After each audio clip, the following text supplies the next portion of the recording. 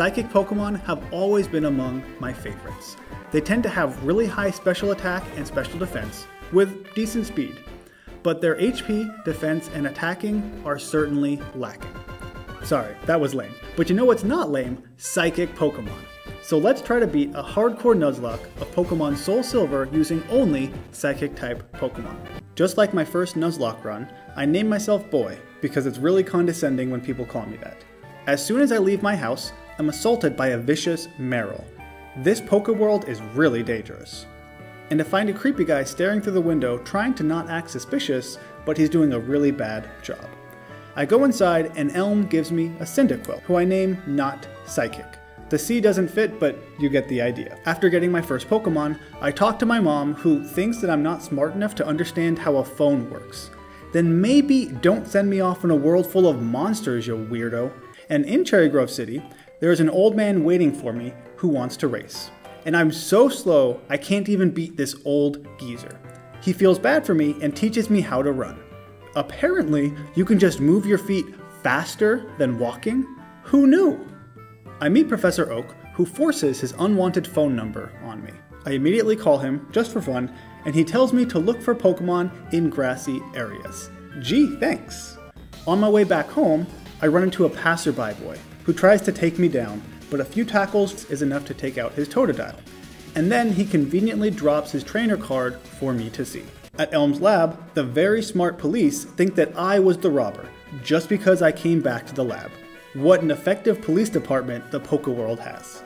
After my second rival, that nobody remembers, vouches for me, I'm cleared of suspicion and I use my psychic powers of deduction to tell them that this guy's name is Hylic, which according to Wikipedia is the ancient Greek opposite of psychic.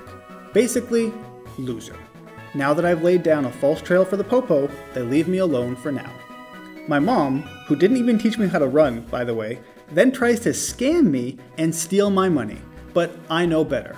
I'm not giving her any of my cold hard cash. That's for me. Next, my unimportant rival shows up and tries to teach me how to catch Pokemon and does some weird dance in the grass with her Marill. Don't really know what's going on there, but okay. Now I finally have Pokeballs, so I use my really strong psychic powers to attract an unknown. The first psychic Pokemon I would be able to catch normally, but now I can get him just a little bit early.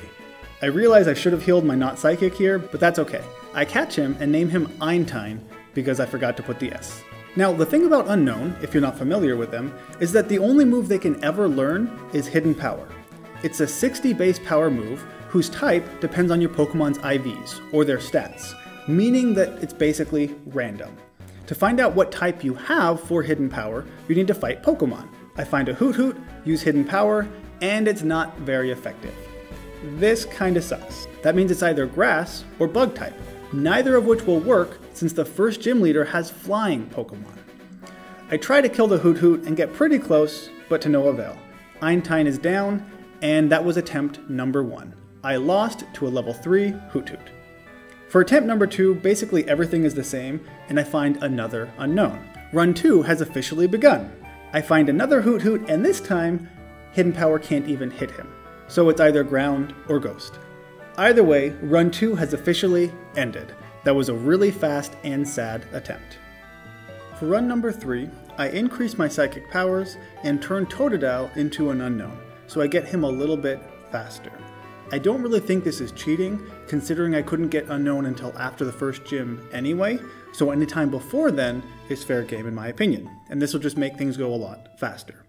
And this one does normal damage to Hoot Hoot, so run 3 has officially begun.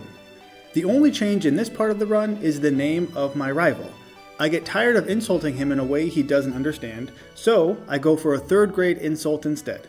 Since Butthead won't fit, I go with Butt instead. And going through Bellsprout Tower, I find Butt who just beat the Elder.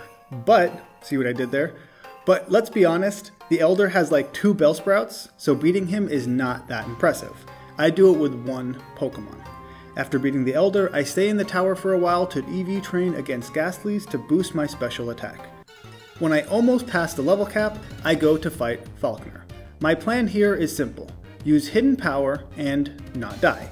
Can we do it? He starts with Pidgey, and I start with the only Pokemon I have. Einstein uses hidden power, and it does a decent amount, So after two hits, Pidgey goes down and I have been sand attacked once. That could have been worse, I suppose. Then Pidgeotto comes out, hits me with a pretty strong gust as I miss my first hidden power. Things are already not looking great. And from then on, anytime I damage him at all with hidden power, he just uses Roost to heal himself back up. I do get a critical hit at one point, but it's not enough for me to win. So attempt number three is over, just like that. On attempt number 4, I do get another hidden power that does normal damage to flying type, so I give it another try. I get to Falkner and things go okay for a while, but I still lose. I think this would be technically doable if I had really good RNG for this fight, but that is unlikely to happen. And so from now on, I will only go for runs where I have a super effective move against flying type. And after three more attempts, I finally get one. This is attempt number 8. While fighting Butt, Hidden Power is super effective against Chikorita, so it looks like my Hidden Power is Ice type. So that's pretty cool. I go back to Bellsprout Tower and EV train quite a bit more against Gastly's. I avoided as many trainers as I could up to this point so I could be as low level and have as much time against Gastly's. And now I'm ready to face Falkner. Einstein takes out Pidgey in one hit, so already things are going better. Now the obvious issue against Pidgeotto is that Roost will cause him to temporarily lose his flying type which means that my ice hidden power only will occasionally be super effective. The other times it will do normal damage. So it does take a while, things get a little bit close, but eventually Pidgeotto goes down and I have defeated Falkner. After many, many hours, I'm embarrassed to say quite how many, I have finally gotten the first badge. That was a really rough start. Now that I've beaten Falkner, I backtrack a little bit to get the Twisted Spoon to power up my Psychic type moves. It won't do anything now, but should be invaluable later on.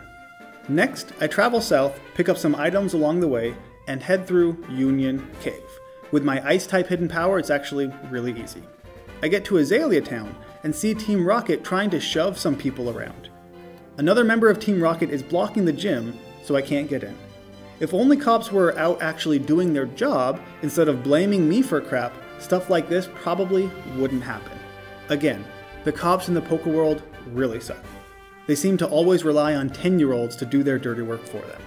I go into the well and find the so called scariest member of Team Rocket, who I take out easily enough, causing all of the other rockets to leave. In the Slowpoke well, I catch another Pokemon. Who do you think it's going to be? If you guess Slowpoke, good job, you must also be Psychic. I call her Newton because I didn't really realize she was a girl. Whoops. Before we go any farther into this run, if you've enjoyed the video so far, be sure to subscribe to the channel, and maybe even share this video. Likes and comments are great too. Every little bit helps, and I really appreciate all of it. Now back to the important stuff. After a bit of EV training and leveling, Newton is ready to fight Bugsy. I say Newton because Scyther can kill Einstein in one hit with his U-turn attack, so it's basically going to be up to Newton to win this entire fight. Scyther starts with a focus energy as I use Curse to boost my attack and defense. I'm not going to outspeed anyway, so I don't worry about the speed drop. And now Scyther starts using Leer to try and lower my defense back down, presumably to try and get a one-hit KO with U-turn. So we take turns with Leer and Curse for a bit, all the while my attack is being boosted. I'll jump ahead to 6 curses. I hit a pretty strong tackle, Scyther gets healed, and next responds with a quick attack, which doesn't do too much. After another tackle, Bugsy heals Scyther, but then a last one takes him out. With Scyther down, Bugsy sends out Metapod. And at this point, I'm not concerned at all, because Bugsy only has Metapod and Kakuna left, and I have a boosted Slowpoke. So a few tackles here and there, I took out Metapod, and then Kakuna. And now we have badge number two. This one was a lot faster than badge number one. And from here on out, the pace should increase quite a bit as I can catch new Pokemon and I don't have to go through the very beginning of the game eight separate times. That was rough. On my way out of town, Butt comes out of nowhere and challenges me to a fight. Newton takes out his Gastly in one hit, and then Bayleef comes out, who poisons me while I do a pretty weak confusion. I decide to switch to Einstein because of his ice hidden power, as Bayleef poisons him too. He gets Einstein with a few Razor Leafs as Bayleef goes down.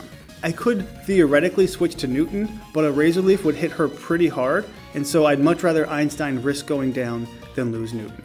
But the poison is too much, and Einstein dies. Then Butt sends out Zubat, who makes me flinch, and then confuses me. This could very easily be a wipe. Fortunately, Newton hits Zubat through confusion and takes it out. This was way too close of a fight. I need to be far more careful from now on. So now we have the first death of the run. Goodbye, Einstein. You were at least useful for one gym, even though it took 8 tries to finally beat that gym. I get through Ilex Forest easily enough, and then on my way to Goldenrod City, I find a Drowzee. Now in this route, I could have either had an Abra or a Drowzee, and I'm glad I got Drowzee instead because I prefer him right now. I catch him and name him Lorentz. My third wheel rival arrives once again and tries to introduce me to her grandparents. I didn't realize we were at that stage in our non existent relationship yet. Her grandma does a little play on words with my name, maybe I underestimated this woman, and Lyra gives me her phone number in front of her grandma, which is a bit forward if you ask me. Before I can make it into Goldenrod, a police officer stops me. It looks like they're onto me once again. In Goldenrod, I try to get some coins playing Voltorb Flip, but it takes a while for me to remember how to play this game. It's basically Minesweeper, but not, if that helps anything.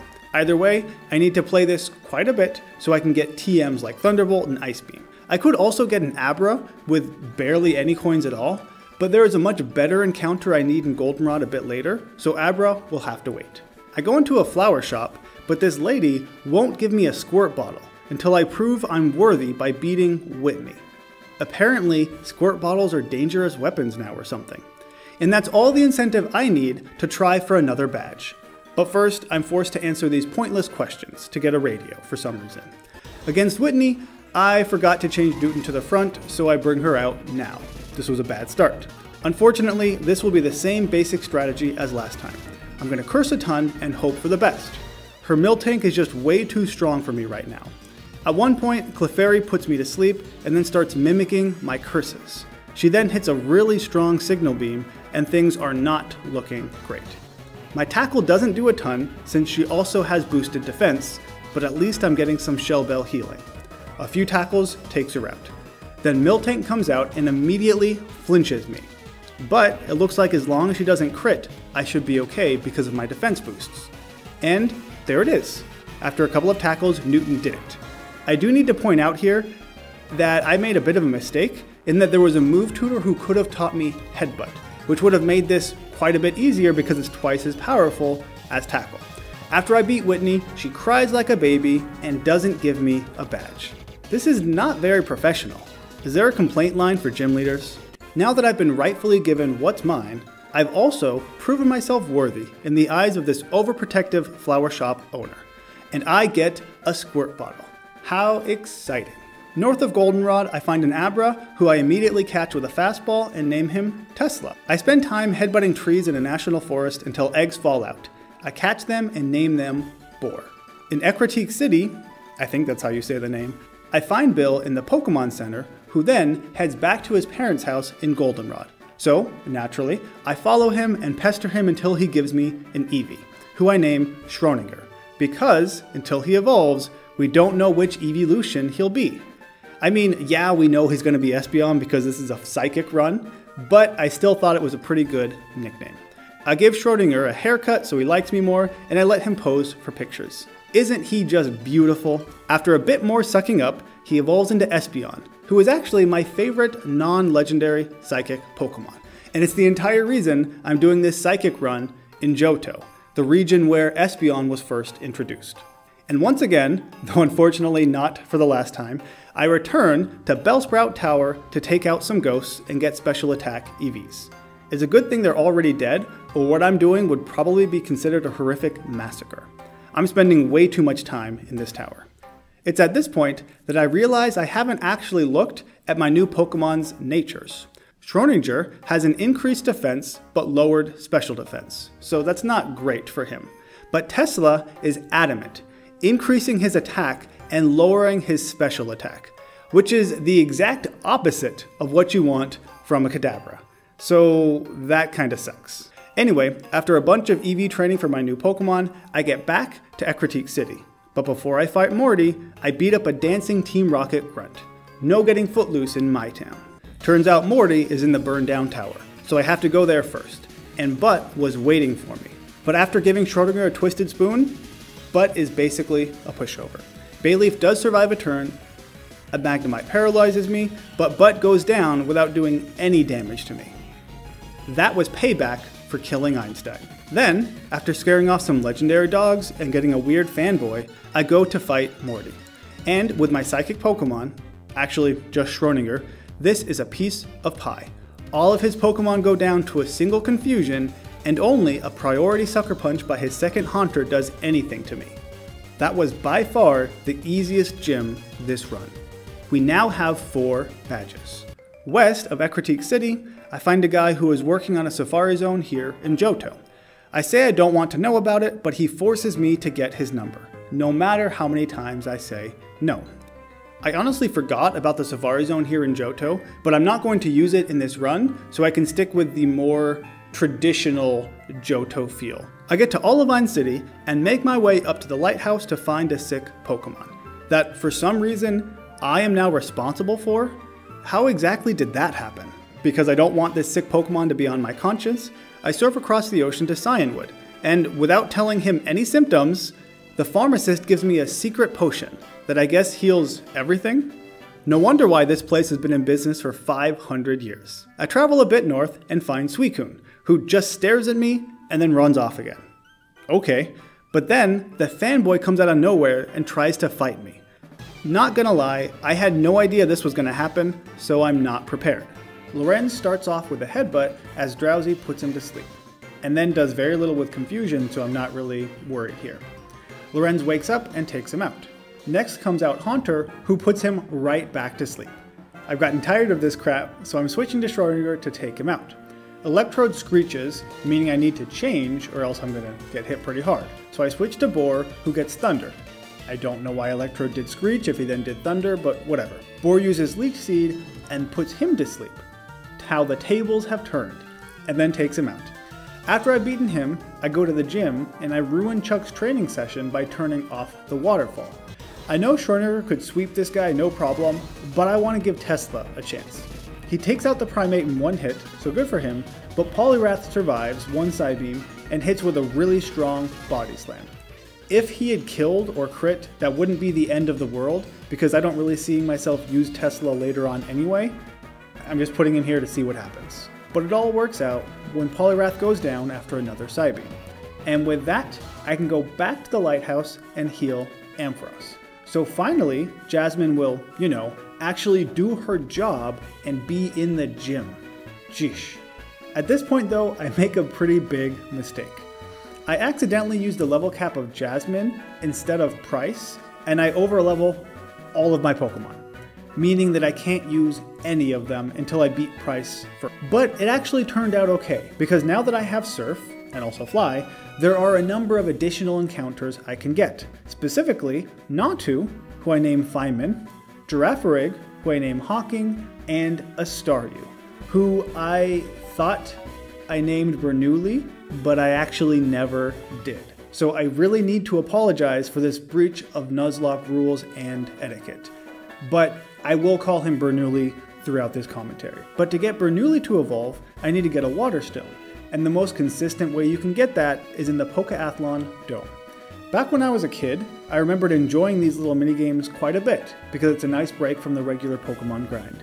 But at the moment, I'm just frustrated that it takes so long to get a Water Stone. And I kind of sucked the first few tries, to be honest. But eventually I get good enough, I get a Water Stone, and Bernoulli evolves. After some training, my new team is ready to fight Price. He leads with a seal, and Bernoulli takes him out with a single Thunderbolt. And then Piloswine comes out and goes down to a single surf. Last is Dewgong, who does survive a Thunderbolt, and then heals with a Hyper Potion, and then heals with a full Restore. But he's just delaying the inevitable because one more Thunderbolt takes it out. Would you look at that?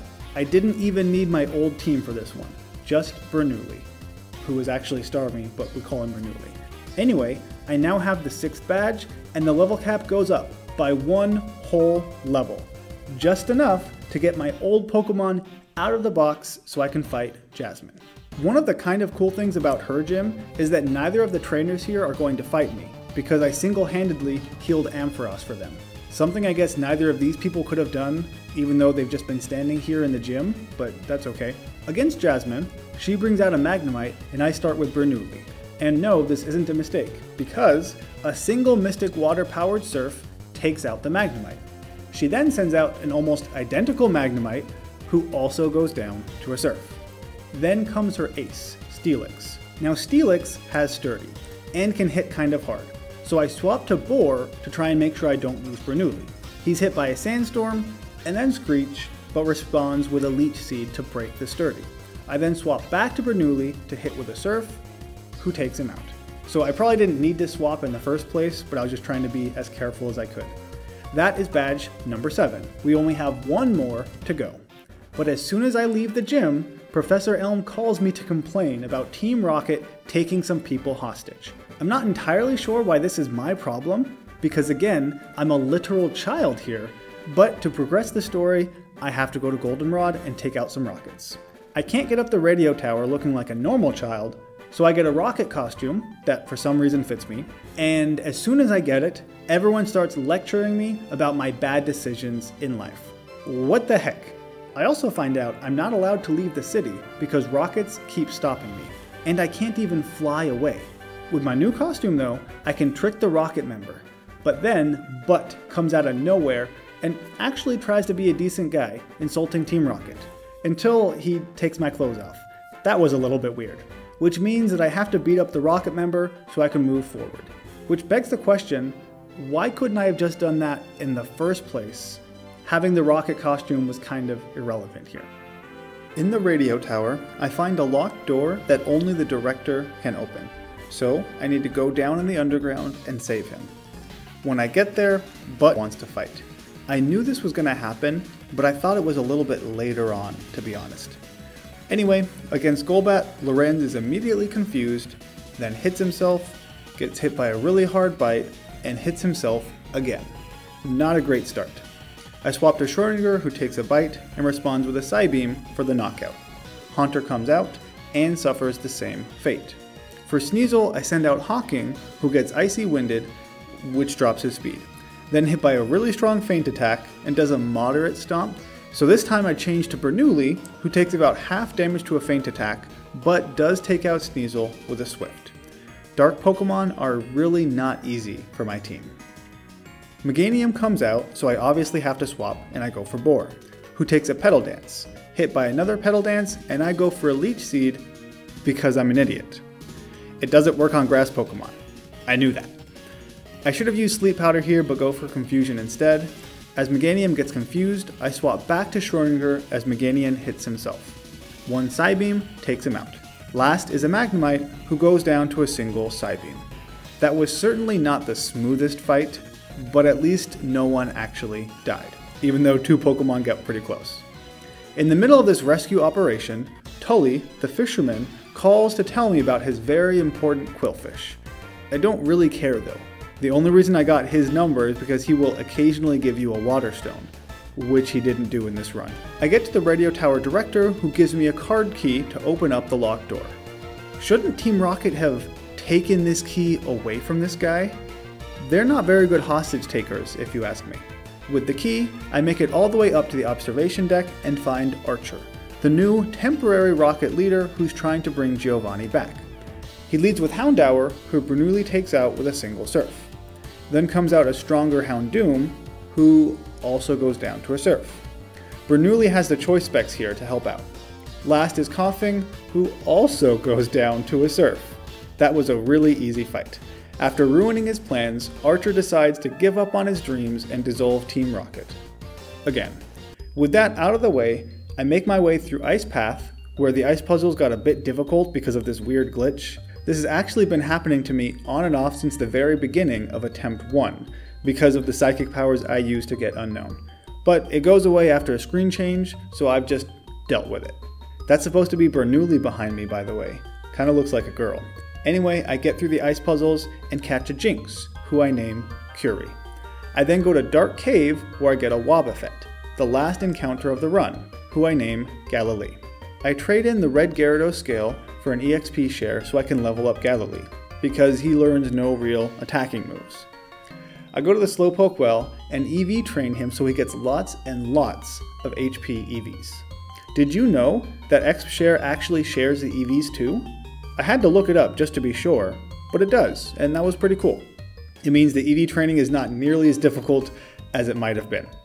So after a good amount of training, with Hawking going into the box, I go to fight Claire, who is apparently the world's best dragon type master, if you ignore Lance, that is. Bernoulli starts with a Thunderbolt, which is more than enough to take out the Gyarados. Next is Dragonair, but a critical hit Ice Beam takes it out. An identical Dragonair also goes down to a critical hit, but Bernoulli has never melt ice and would have one-shot them anyway even without the critical hits. But two in a row, pretty good luck. Kingdra is the one that I'm really concerned about. So, I swap to Galilee for his first real battle, as it gets smokescreened. Since Kingdra only has special attacking moves, I'm safe to spam Mirror Coat until he hits me. After another smokescreen, I do get hit with a Hydro Pump, but my Mirror Coat retaliates and takes out the Kingdra. Good job, Galilee. After I win, Claire is a huge sore loser and won't admit defeat. This is the second Johto gym leader to do something like this. What is in the water around here? It turns out the Dragon Master Challenge, which is a pretty cool name, actually just consists of some old guy asking me how much I love my Pokemon. Not much of a challenge, but okay. Obviously, I pass, something Claire couldn't even do, and she finally gives me the eighth and last gym badge. After that, I go back home, and Elm gives me a Master Ball and tells me about the Kimono girls who I've helped throughout this run that I don't think I've ever talked about. Then, Lyra friendzones me hardcore. I guess there is nothing there after all. At this point, I have to fight all of the Kimono girls' evolutions one after another without any time in between to heal. Not gonna lie, the Umbreon at the very beginning scared me a bit, but before that, I level up a bit more and finally get Newton to evolve. We start the fight, and I lead with Bernoulli, who hits Choice Specs boosted Surf, is confused, hits itself, but then the Umbreon goes down without me taking too much damage. The next one sends out Espeon, who also goes down to a Surf, as does the next Flareon, obviously.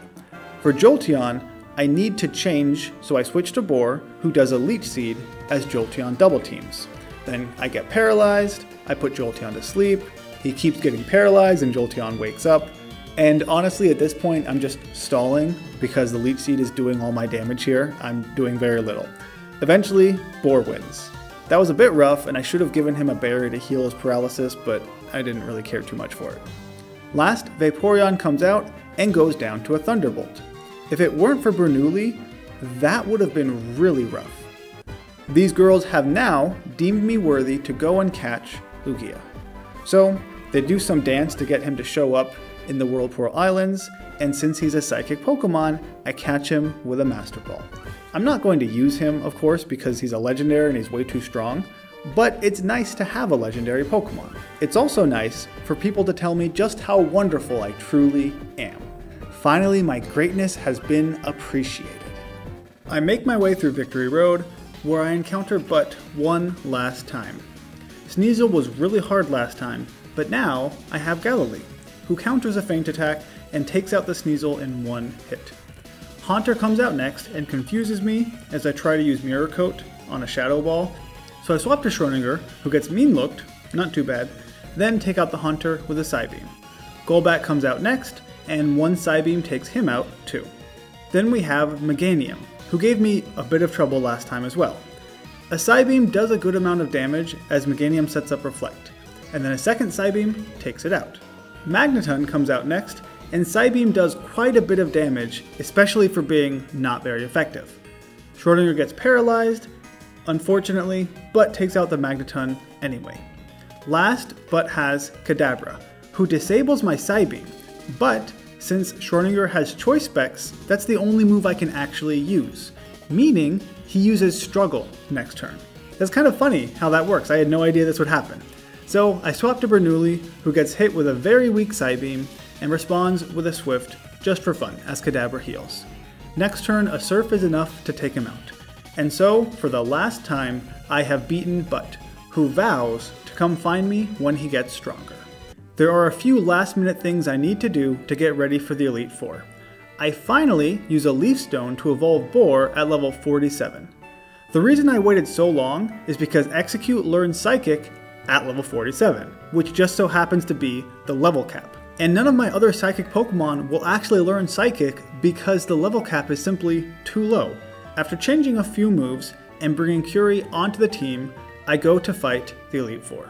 Galilee does have experience share to try and get as high a level as possible for the Karen fight. And here is my team, all leveled up and ready to fight the Elite Four. We start the first fight against Will and his obviously lesser psychic type Pokemon. I mean, this guy has two Xatus. What's up with that? The first Xatu faces off against Schrodinger, but a Choice Spec Shadow Ball takes it out. And then the second, slightly more powerful Xatu suffers the same fate. As a matter of fact, every single one of his Pokemon goes down in one Shadow Ball. In the interest of time, I'm going to speed this fight up just a bit. And just like that, the first member of the Elite Four goes down without a fight. He should be embarrassed calling himself a psychic Pokemon trainer. As a side note, Curie the Jynx would also have been strong enough to wipe his entire team, but I chose Schrodinger because I like him more. The next member of the Elite Four is the Poison Ninja Koga, and this fight will be much more interesting than the previous one. He leads with Ariados as Schrodinger stays in front.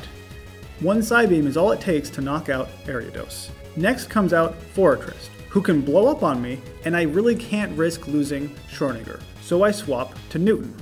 Forretress wastes time with a Protect, and then Newton outspeeds and hits him with a Flamethrower. This should do a good amount of damage, but he has Sturdy. It turns out he doesn't have Sturdy, so a Flamethrower, which was four times effective, takes him down. That's alright with me. I thought he had Sturdy, but I'm not complaining. Muk comes out next, and while Schrodinger could easily take him out in one hit, a critical hit gunk shot would take out Schrodinger, so I can't risk it. Instead, I go for a Zen Headbutt as he uses Minimize, and my Zen Headbutt misses. He minimizes again, and I miss again. Then he goes for a gunk shot, which does do a good amount of damage. But finally, I hit him and do even more damage. It takes him into the red as I heal with a Shell Bell and he heals with Black Sludge. He then uses a full restore like a jerk, but I hit him again. He hits me with another gunk shot as I miss. Another hit does take me into the red, but Newton responds by killing Muk. That was pretty rough. With that, he sends out Crobat, and I swap back to Schrodinger, who takes a really weak wing attack. Crobat outspeeds with a double team, but it doesn't matter because one Psybeam takes it out. Venomoth is his last Pokemon, and it also goes down to a single Psybeam. I told you this was going to be more interesting, didn't I? The Muk would have been a piece of cake if I didn't have to swap out Schrodinger because of the Forretress. But that made me mix it up a little bit, so I guess it's more entertaining for you. Next we have Bruno, who has only very slightly changed his team from the first generation. Why he doesn't have a Steelix yet is beyond me because Onix really sucks. Like, I cannot overstate quite how much Onix sucks. Anyway, this fight is basically the same as the Will fight. Schrodinger comes out and with Choice Specs boosted Psybeams, one-shots his entire team. So again, I'll speed this up to go pretty quickly. I did actually anticipate Onix to have Sturdy, but that wasn't a thing. I don't know why the guy keeps saying all of these Pokemon have Sturdy because apparently they don't, but it doesn't really matter. I won. He was easy. Karen, however, who is the last member of the Elite Four, is going to be rough. She seems to have replaced Agatha, who finally joined her ghost type Pokemon. You know, because Agatha was so old that she died. Anyway, Karen is certainly the most concerning because she has dark Pokemon, a perfect counter to basically my entire team. She leads with Umbreon, as I lead with Galilee. Umbreon only knows physical attacking moves, so I can respond with counter. I do use a safeguard just in case I get confused, even though I also have a Persim Berry, so it doesn't really matter too much. However, Umbreon goes a different route and chooses to use Double Team six times in a row. Yikes. So I'll skip ahead a bit because I can't do anything here. Eventually, Galilee gets hit with a feint attack, which does a lot less than I anticipated to be honest, as Galilee responds and does more than half with a counter. The next counter misses, but feint attack isn't doing too much damage. The third counter does connect, and Umbreon goes down. From here, I expect a pretty smooth fight. Gengar comes out, and I bring out Newton, who avoids two Focus Blasts in a row, good for him, and responds with a one-hit KO Zen Headbutt. Vileplume comes out next, and I bring out Schrodinger, who avoids a Stun Spore. though I did have a Cheri Berry just in case because I knew he was going to try to Stun Spore me. One Psybeam then takes it out. Murkrow comes out next, and I bring out Bernoulli, who I just realized this is the first time he's come out in the entire Elite Four. That's pretty crazy. Bernoulli has choice specs, so I have to use Surf because next is a Houndoom. But Surf is more than enough to take out the Murkrow. Last is her Houndoom, who also goes down to a Surf. That fight actually went pretty well. It could have gone a completely different direction if Galilee hadn't been a champion and taken out her six time double teamed Umbreon. That would have really wrecked my entire team. Now, for the last fight, we go up against Lance, who is the new champion. Even though his Pokemon are like 10 levels lower in this generation than they were in Fire Red, but whatever. Just like then, he starts with Gyarados, who Bernoulli takes out with a single Thunderbolt. No surprise there. It was crit, but that obviously wasn't necessary. Next, he sends out a Dragonite. Here, I really need to think about my next move. I don't think Bernoulli can take him out even with a Never Melt Ice, and this Dragonite has Thunder. But I actually anticipate a Thunder Wave instead of Thunder, which I could actually just heal because of Bernoulli's Natural Cure ability.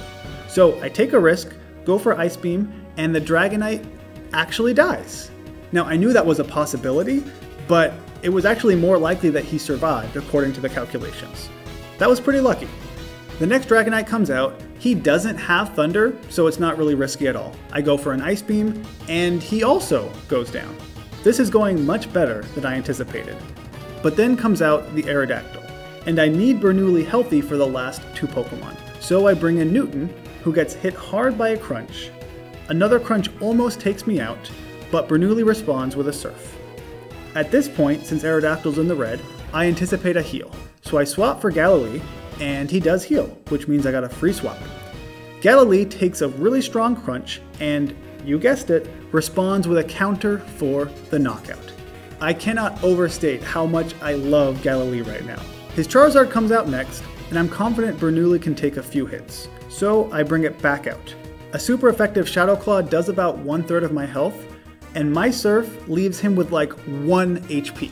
Literally, what is going on here? That should have just killed him. Bernoulli tanks another Shadow Claw, and things are getting a little bit risky. He heals, but the next surf is actually a high roll, and it takes him out. So that turned out okay. His last Dragonite comes out, so I go for an Ice Beam. He is one level higher than the two previous Dragonites, which is just strong enough for him to survive. He heals with a Sitrus Berry and takes out Bernoulli with an Outrage. I was so close to finishing the run without losing anyone important. Not talking about you, Einstein, sorry. But I didn't quite make it. That is certainly a disappointment, but now I effectively have the run in the bag. Since he's weakened, I bring out Schrodinger, who finishes the run with one last Just like in the previous game, Oak then arrives too late, after the battle has already been won. Lance takes me and my team to the Hall of Fame, and the run is over. Before this run, I had barely ever used Starmie or Wobbuffet, but now I really like them. The MVP of this run was probably either Schrodinger or Bernoulli, but Galilee was still a really useful Pokemon for the odd ones here and there that those two couldn't quite take out. I know technically there is still the entire Kanto region with more encounters and more gym leaders, but this video is already way longer than I had anticipated, so I'm calling it right here.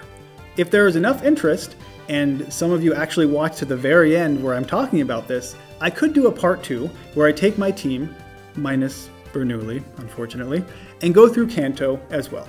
So let me know in the comment section if that's something you're interested in. Anyway, thank you so much for watching. I hope you enjoyed it, and be sure to check back in a couple of weeks for another video, this time a challenge run of Pokemon Ruby.